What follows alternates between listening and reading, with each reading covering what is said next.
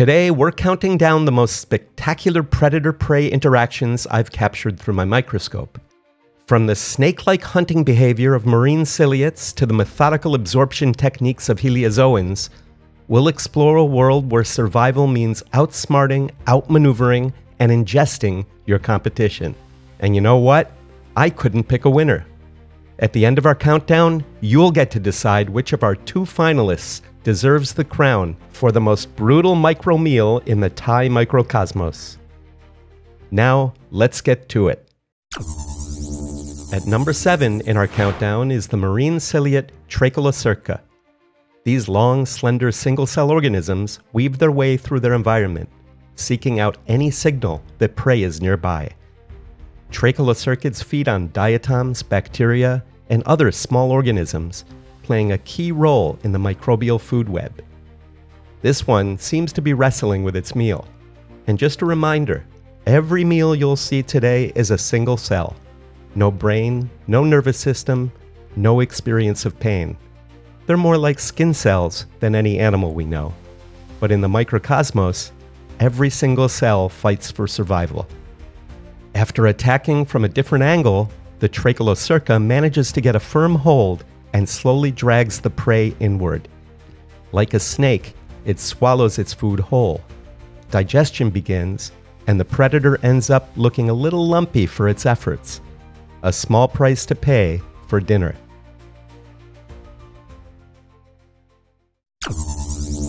Coming in at number six is Actinosphaerium. This single cell organism, a heliozoan, is a silent hunter. It stays in one location and waits for other organisms to come into contact with it. Stiff axopodia radiate from the cell like rays from the sun. Organisms which are trapped by these sticky axopodia are then moved into the cell, a process called phagocytosis, where they are slowly digested. This captured peritrich ciliate has no way to escape, already encased in a food vacuole and being transported toward the heliozoan's interior.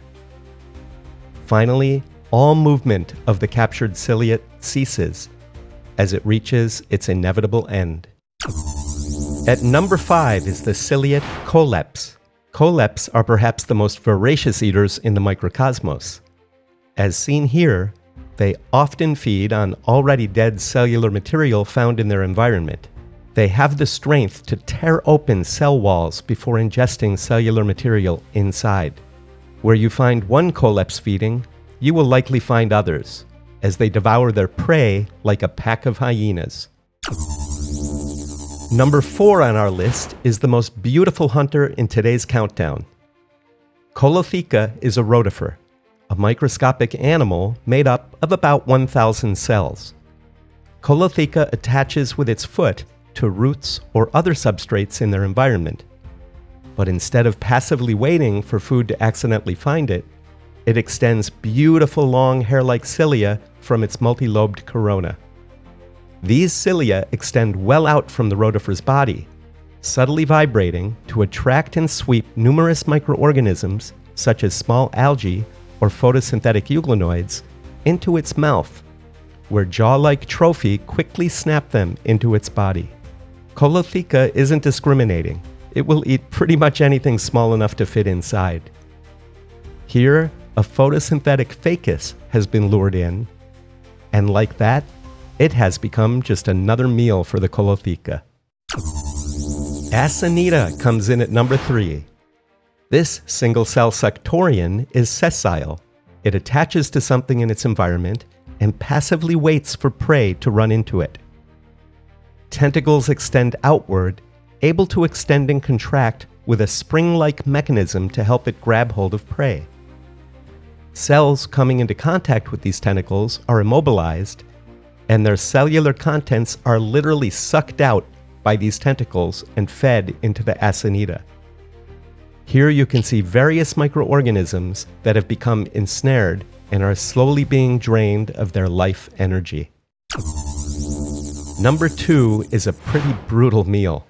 Say hi to the single cell stalked ciliate Epistylis. Epistylis attaches itself to roots and other material with a rigid, non contractile stalk. The stalk often branches, providing structurally stable support for Epistylis colonies. But as you'll see, this rigid stalk can also lead to its undoing. Here, a single cell ciliate, Amphileptus, has latched onto an epistylis. The Amphileptus is doing its best to tear through the cell wall of the epistylis and reach a bonanza of cellular material inside. The rigid stalk prevents epistylis from retracting, leaving it completely vulnerable to this attack. A second Amphileptus joins, and soon a third, larger Amphileptus arrives to deliver the coup de grace. Watch as it consumes the cytoplasm of the unfortunate Epistylis.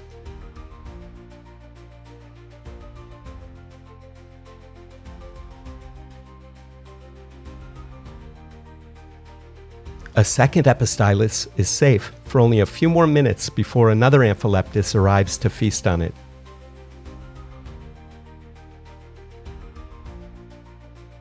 The Amphileptus leaves with a full belly leaving the crumbs for some scavenger euglenoid flagellates who decide they prefer a takeaway meal.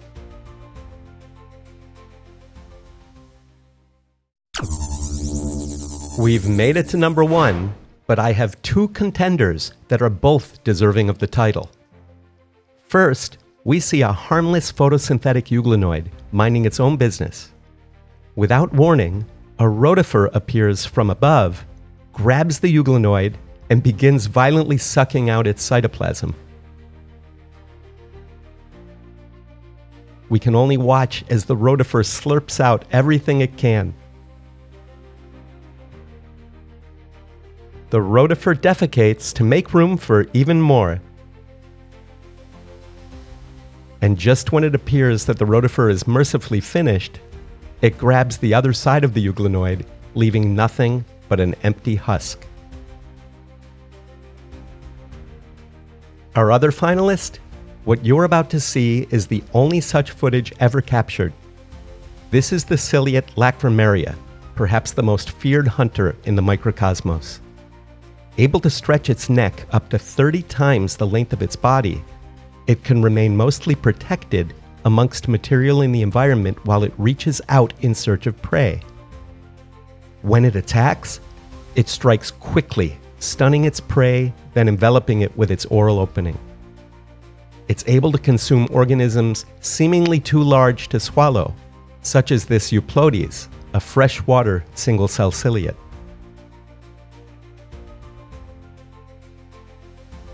Watch as it tears this cell in half before consuming it.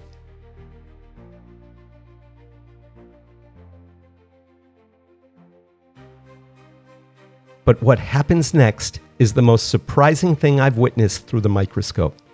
This Lacrymaria, on a routine hunt for a meal, is viciously attacked by a larger Lacrymaria, which severs its body at the neck with the force of its strike. The larger Lacrymaria then swallows the entire torso whole in the first ever act of Lacrymaria cannibalism captured on video. So, which of our finalists deserves the title of Most Brutal Micro Meal 2025? The rotifer sucking the life out of a euglenoid or the cannibalistic lacrymaria? Leave your vote in the comments.